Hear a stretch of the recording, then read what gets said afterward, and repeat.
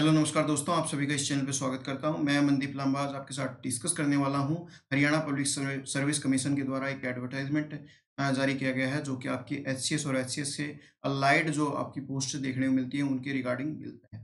ये advertisement number तीन, दो हज़ार इक्कीस देखने को मिलता है, जिसके लिए आपकी जो ऑनलाइन डेट है एप्लीकेशन फिल करने के लिए, वो आपकी तीन मार्च से स्टार्ट होने वाला है और क्लोजिंग डेट आपकी दो अप्रैल तक रहने वाली है। ये आपका 26 को यानी कि कल के दिन आपके डेट के, जो पब्लिकेशन है, ये पूरा का पूरा notification Haryana public service commission के द्वारा रिलीज़ किया गया है, जिसके रिगार्डिंग हम सारी चीज़ें डिस्कस करने वाले हैं, जानने वाले हैं इस वीडियो में। तो वीडियो को लास्ट तक ज़रूर देखते रहें, अगर आप एच या एच के अलाइड पोस्ट को अप्लाई करना चाहते हैं। सबसे पहले तो यहाँ पर जो कमीशन की वेबसाइट है, उस पर आपको ये नोटिफिकेशन मिल जाएगा। कैंडिडेट अपनी पहले तो जो भी कैंडिडेट यहाँ पर अप्लाई करने वाला है, वो कैंडिडेट ये ज़रूर इंश्योर कर दे कि आपकी एलिजिबिलिटी है, वो आपकी बिल्कुल यहाँ पर जो भी आपके इन्होंने डिमांड कर रखी है, वो आपकी फुलफिल करते हुए हो। और दूसरा, आप अप्लाई करने के लिए आपका तीन तारीख को, यानी कि तीन अप्रैल को, तीन मार्च को सॉरी और से लेकर आपकी दो अप्रैल तक यहाँ पर अप्लाई कर सकते हैं और ये वेबसाइट का यहाँ पर लिंक भी दिया हुआ है राइट यहाँ पर जो भी लास्ट डेट है, वो आपकी दो चार दो हज़ार इक्कीस है टिल ग्यारह पचपन इलेवन फिफ्टी फाइव पी तक आप यहाँ पर अप्लाई कर सकते हैं। इसके साथ साथ यहाँ पर जो भी प्रॉब्लम होती है तो इस हेल्प डेस्क ईमेल आईडी पर आप क्वायरी भी अपनी दे सकते हैं नौ से आपकी यहाँ पर छः बजे तक, ठीक है? इसके साथ साथ जो पोस्ट हैं, किस किस कैटेगरी में आपकी कितनी पोस्ट आई हैं तो एच की रिगार्डिंग आपकी 48 पोस्ट हैं, जिसमें से आपकी 29 तो आपकी जनरल कैंडिडेट के लिए एससी के लिए आपके हरियाणा में आपकी 8 पोस्ट हैं, आपकी फोर पोस्ट आपकी बीसी हरियाणा में है बीसीबी हरियाणा में आपकी तीन पोस्ट हैं और ईडब्ल्यूएस के लिए चार पोस्ट रहने वाली हैं। ऐसे ही डीएसपी की आपकी सात पोस्ट है ईटीओ की चौदह पोस्ट हैं डी एफ़ एस सी की पाँच पोस्ट हैं ए क्लास तहसीलदार की फोर सीट हैं। आपके ए आर सी एस की एक सौ पोस्ट है, जो कि आपकी जनरल कैंडिडेट में ही आती है। और इसके साथ साथ ए ई टी ओ की पाँच पोस्ट है बी डी पी ओ की आपकी फोर्टी सिक्स पोस्ट है टी एम की थ्री पोस्ट है डी एफ़ एस ओ की टू पोस्ट है ए ई ओ की ट्वेंटी वन पोस्ट है। टोटल आपकी वन फिफ्टी सिक्स पोस्ट है।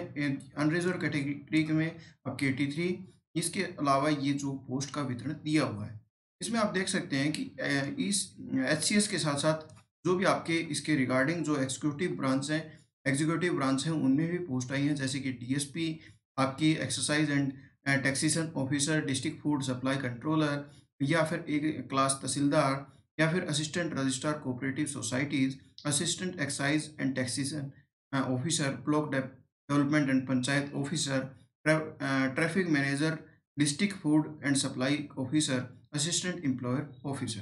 तो ये एम्प्लॉयमेंट ऑफ़िस के रिगार्डिंग, यहाँ पर ऑफिसर के रिगार्डिंग भी पोस्ट आई हैं, ये आपका वितरण रहता है।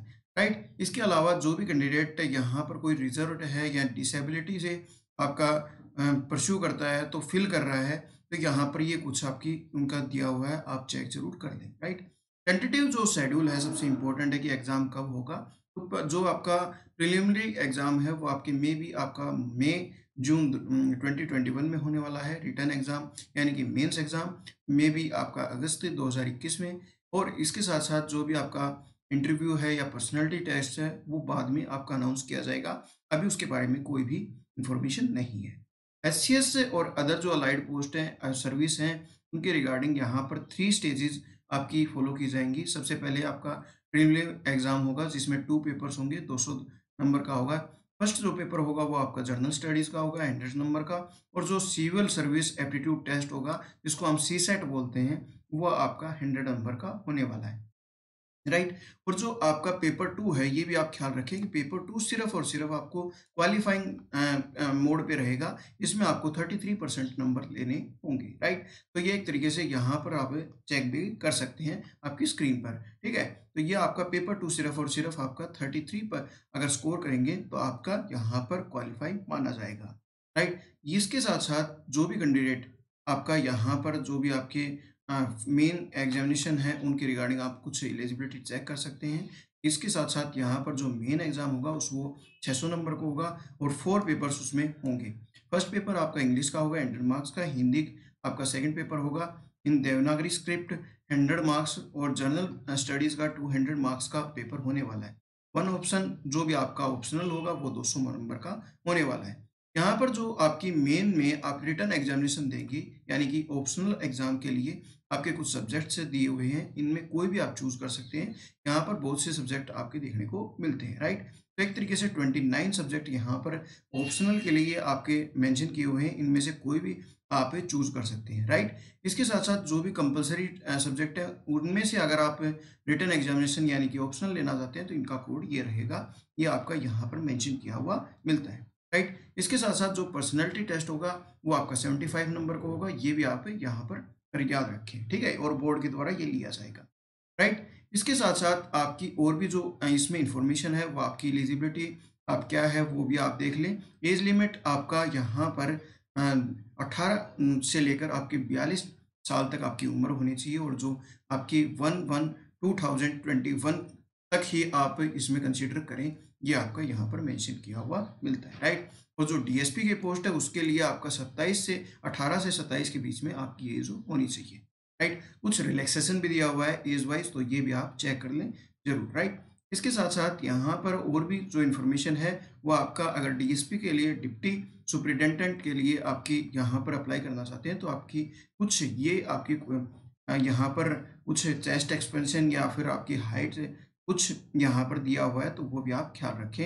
एक्स सर्विसमैन के लिए भी यहाँ पर कुछ दिया हुआ है, वो भी आप एक बार थोरोली पढ़ ज़रूर ले। अप्लाई करने से पहले पहले राइट यहाँ पर जो अप्लीकेशन फ़ीस है, वो हज़ार रुपये रहेगी जनरल कैंडिडेट की और उसके साथ साथ जो ढाई सौ रुपये अदर कैंडिडेट्स की रहने वाली है राइट यहाँ पर अगर कोई डिसेबल्ड पर्सन है तो उसकी आपकी यहाँ पर नील फ़ीस रहने वाली है राइट इसके साथ साथ कैसे अप्लाई करें, वो आपका ये कुछ स्टेप्स दिए हुए हैं, इनके थ्रू आप यहाँ पर अप्लीकेशन डिटेल भरेंगे एग्जामिनेशन सेंटर भरेंगे फोटोग्राफ भरेंगे सिग्नेचर भरेंगे और फ़ी सबमिट करके आपका सभी जो कंप्लीट आपकी अप्लीकेशन फॉर्म है, वो आपका कंप्लीट हो जाएगा।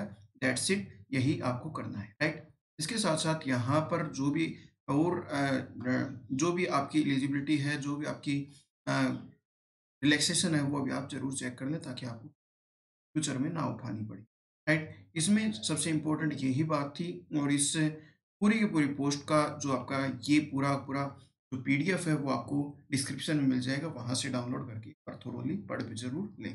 और काफ़ी महत्वपूर्ण है क्योंकि आपका ये एक्स सर्विस यहाँ पर एच की, यानी कि Haryana service public service commission के द्वारा बहुत बड़ी पोस्ट बहुत बड़ी, काफ़ी इंतज़ार था इस एडवर्टाइजमेंट का तो ये आपका फाइनली जारी कर दिया गया है। धन्यवाद। जय हिंद, जय भारत ऑल द बेस्ट